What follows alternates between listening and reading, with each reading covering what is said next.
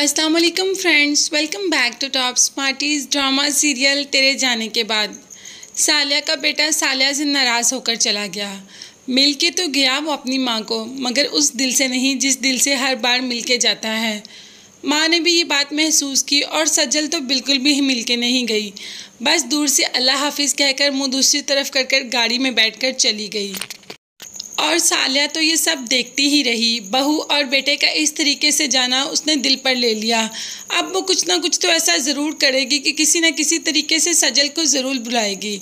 फ़िलहाल सजल अशर के साथ बाहर पहुँच तो गई, अपने घर में। वहाँ पर अपनी ही पिक्चर देखकर बहुत ज़्यादा खुश हुई, जिस पर अशर ने बताया कि जब सजल नहीं थी तो उसने दिन कितनी मुश्किल से गुजारे। वो इसी तस्वीर को देखकर याद करता था सजल को। मगर अब तो सजल हमेशा हमेशा के लिए अशर के पास आ गई और जैसे वो चाहे घर को सजाए, जो चाहे करे, उस पर कोई पाबंदी नहीं। अशर ने उसे हर चीज़ की आज़ादी दी। इतनी मोहब्बत करता है अशर सज्जल से कि सज्जल जो भी कहे, अशर के लिए वो पत्थर पे लकीर ही होती है। इस घर में ये अपना बेस्ट वक्त गुजार रहे हैं। दोनों एक दूसरे से बहुत ज़्यादा मोहब्बत करते हैं। दोनों ही एक दूसरे से कहते हैं कि हम एक दूसरे के बगैर नहीं रह सकते। अशर तो इतनी हेल्प करता है, किचन में भी सजल की, कभी उसको बर्तन धो देता है।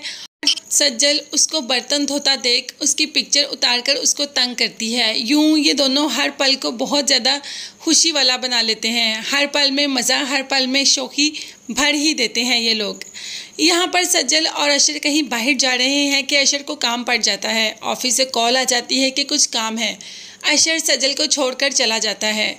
अभी ऑफ़िस पहुँचता ही है कि माँ की कॉल आ जाती है, जिस पर माँ रो रो कर बताती है कि तुम तो ठीक से मुझे मिलकर भी नहीं गए, ऐसा मैंने क्या कसूर कर लिया? और सजल को भी साथ ले गए। हर माँ का अनुमान होता है कि बहू के साथ रहे। बेटे की शादी इसलिए थोड़ी की जाती है कि बहू को फ़ौरन से पहले साथ ले जाओ, जिस पर अशर का कहना था कि अम्मी मैं सजल को हमेशा के लिए तो वहाँ नहीं छोड़ सकता था ना? सजल को तो मैंने लाना ही लाना था। मगर माँ फिर भी अशर को काफ़ी अच्छा खासा भड़का देती है और अशर रहा कानों का कच्चा जो भी बात सुनता है फ़ौरन उसी तरफ़ हो जाता है। माँ सज्जल को चैन से जीने नहीं देगी, ये माँ ने खुद से वादा किया है कि सज्जल बाहर भी चली गई है, वो सोचती है कि मैं आज़ाद हो जाऊँगी तो मैं उसको आज़ाद नहीं होने दूँगी। वहाँ जाकर भी मैं उसी पर ही हुकूमत करूँगी और वो खुश कभी भी नहीं रह पाएगी। उसने मुझसे, मेरा बेटा छीना है ना, अब देखना कि मैं उससे उसकी खुशियाँ छीन लूँगी। इस वक्त तो माँ फरी को भी बहुत याद करती है कि फरी का दिमाग इन कामों में बहुत चलता है। अगर फरी होती तो वो मुझे कोई ना कोई प्लान ज़रूर बताती। उधर फरी का मालिक मकान उसको निकालने की धमकियाँ दे रहा है और समीर भाई से पैसे मांगने की बात करता है, जबकि फरी कह देती है कि वो मेरी शक्ल भी नहीं देखना चाहता। अब फरी कोई ऐसी चाल चलेगी कि वो सालिया के घर ही आकर रहना शुरू कर देगी। सालिया को भी उसकी ज़रूरत ही है। समीर भी कह देता है कि मेरे पार्टनर ने मेरे साथ धोखा किया। मेरी सारी रकम हड़प कर गया जब समीर के पास तो कोई रकम थी ही नहीं, बस वो फरी को तंग करता है। फरी से हर चीज़ हड़पने की कोशिश में लगा रहता है और फरी भी अब माँ के घर जाने के लिए ही तैयार है। माँ फ़ोन करती है कोई ना कोई प्लान पूछने के लिए। आखिर माँ और फरी की बातें शुरू हो जाएँगी और इस तरीके से अशर के ना होने का अच्छे तरीके से फ़ायदा उठाया जाएगा और फरी इधर माँ के पास ही आकर रहना शुरू कर देगी। तो क्या अशर को इस चीज़ का पता चल जाएगा? या अशर फिर सरप्राइज़ देने के लिए आएगा और ख़ुद ही सरप्राइज़ हो जाएगा। जैसे कि सज्जल के मामले में सरप्राइज़ देने आया और आगे से खुद ही सरप्राइज़ हो गया।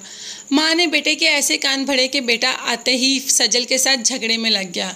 इन दोनों की आपस में काफ़ी बहस हुई और सज्जल जो कि कहीं जाने के लिए रेडी थी, फ़ौरन से अपना मेकअप रिमूव करना शुरू कर दिया। तो फ्रेंड्स सालिया यहाँ अपने मकसद में कहीं ना कहीं कामयाब तो होती जा रही है। आपको क्या लग रहा है? मुझे कमेंट्स में ज़रूर बताइएगा।